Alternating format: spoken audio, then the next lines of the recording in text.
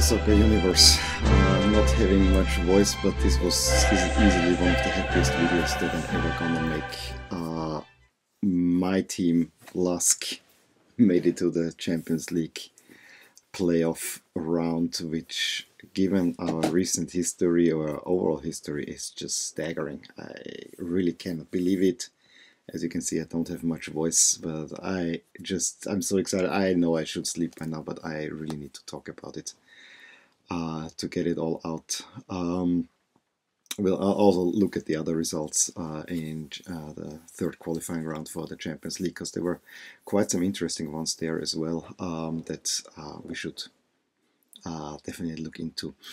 Um, unfortunately, I did not find the time to do any Premier League or even League uh, um, review. I probably,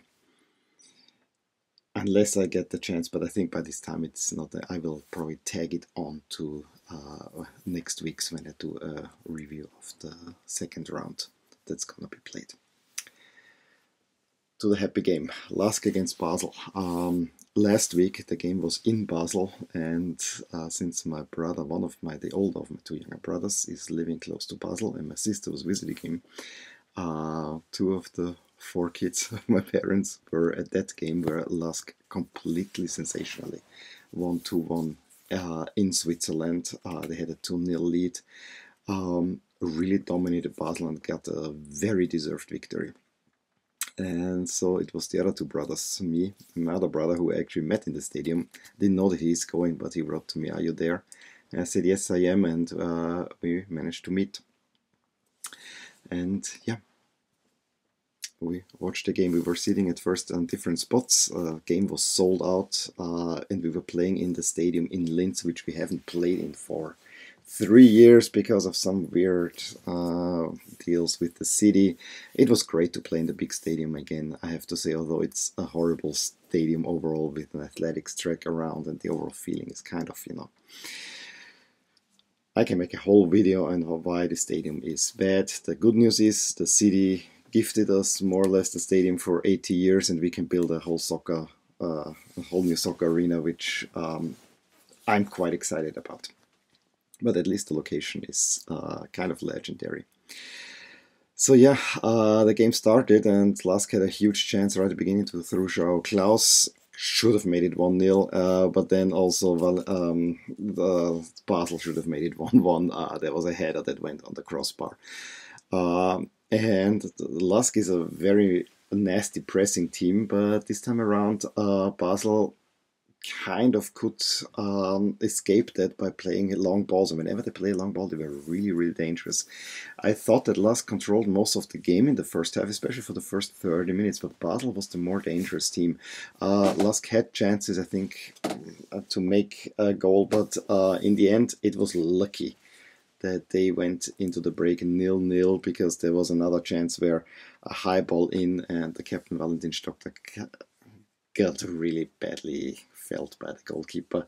I can see why the referee didn't give it because it didn't look like that much. It seems like the Stocker just uh, fell into the goal trying to convert it.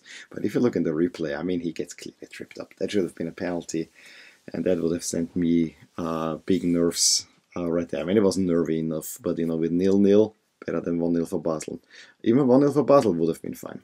Second half, Lask clearly got the, uh, got back into the game and clearly uh, managed to get it going, uh, control Basel, and actually got a, another lucky break. I mean, already the 2 0 in Basel was a deflected shot, and this time uh, it was a, a veritable own goal. Um, cross from Ranftl in, and it was deflected right into the near corner.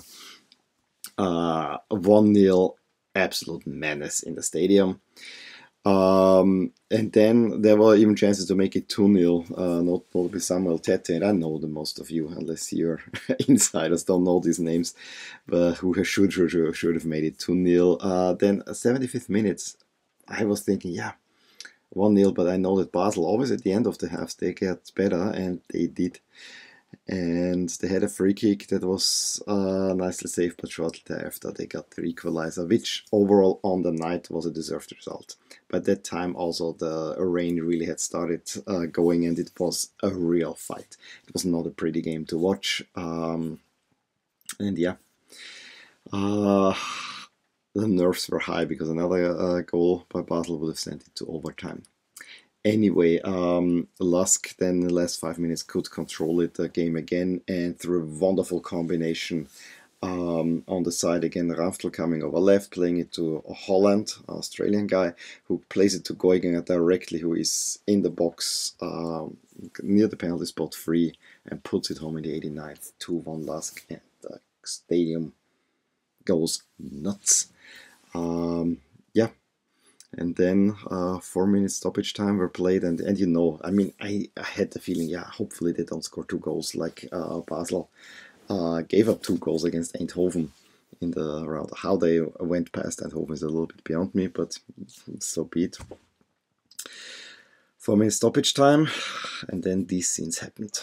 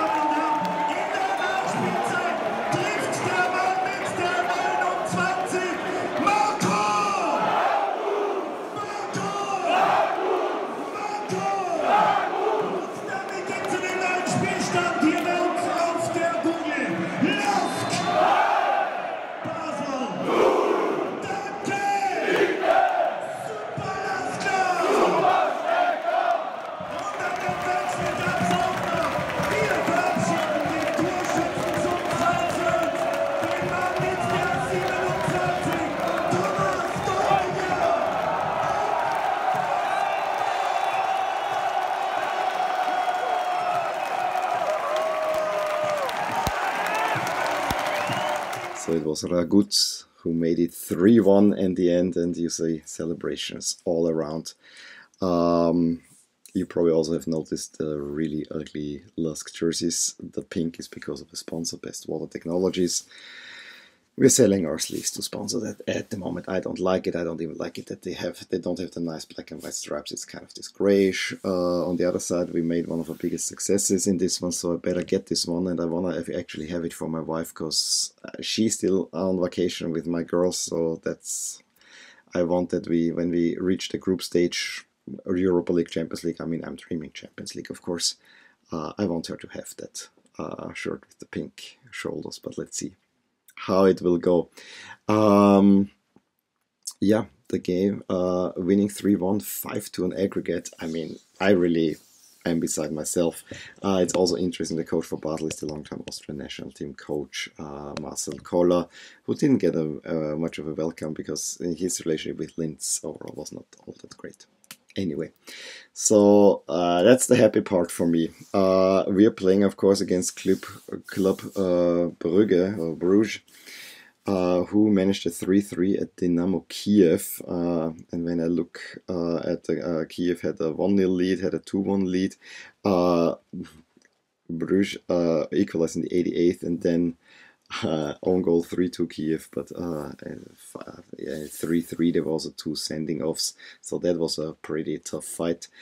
Um, I had two Ukrainians sitting in front of me who were actually uh, taking a lot of pictures and giving me uh, also informing me. And since I can read it with Cyrillic, I could read on their cell phones. It was kind of funny. I felt better for them that uh, Kiev didn't make it, but you know, uh, I'm actually a little bit tad more happy with Bruges, but given that Salzburg really had no problem with them earlier this year, I mean, they made themselves more, more problems than they needed.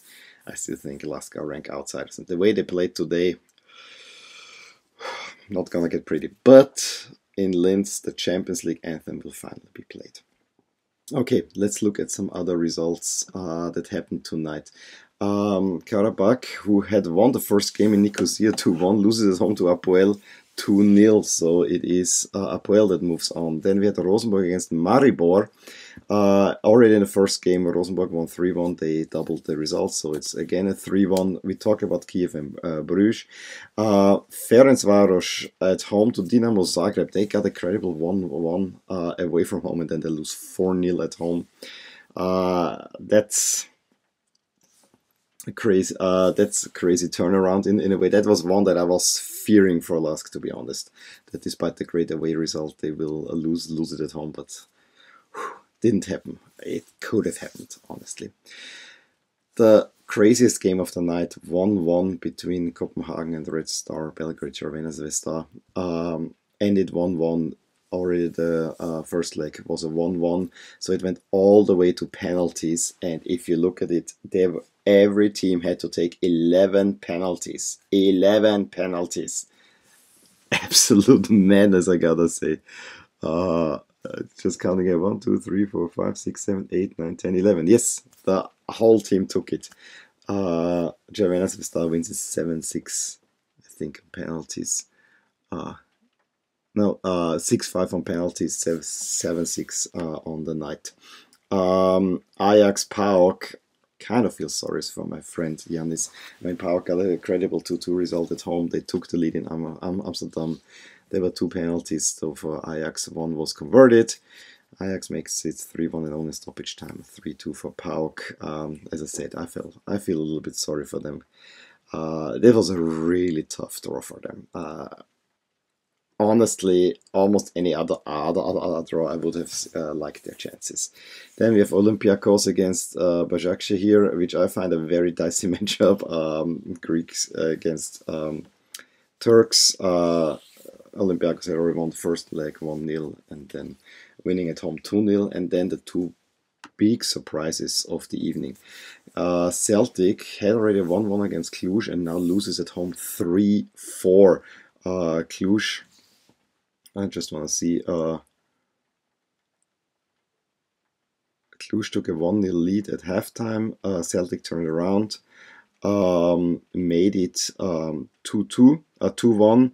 Then a penalty makes it 2 2. Celtic takes a 3 2 lead. it goes 3 3, and then in stoppage time, even 4 3. Absolute uh, madness. And then uh, the even bigger surprise to me, although I know Krasnodar is strong, Porto had won in Russia 1 0. After 34 minutes, Krasnodar has a 3 0 lead. Porto gets two more goals, but Porto is out. Absolute madness. They were in the quarterfinals last year.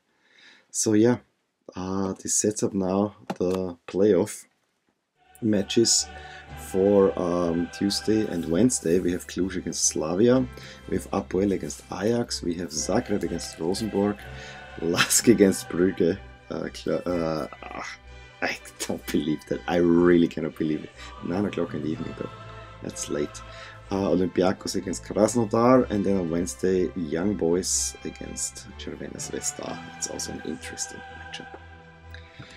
Anyway, let me know what you thought about all these results. I'm, as I said, I still can't, can't believe it. I need to calm myself down. I want to get a decent amount of sleep tonight, although that might not be. I'm just super excited. Uh, Champions League anthem will be played on the in the stadium in Linz. That, if you would ask me five years ago when we played in the third league, I, unbelievable, unbelievable. You won't see me that happy at that many times, but this, as I said, SK. Let me know what you thought about this video, drop some comments below, uh, subscribe to my channel if you want to see more. As I said, I'm going to be working, I'm already collecting some data for um, some jersey re re review stuff. I will be away from home for the next um, three days, so I'm not, not sure uh, how I will be posting, so um, just have that in mind. Uh, but I will surely talk to you soon. Bye. Hey there, I really hope you enjoyed this video. And if you did, here are some videos and playlists that might be of interest to you too.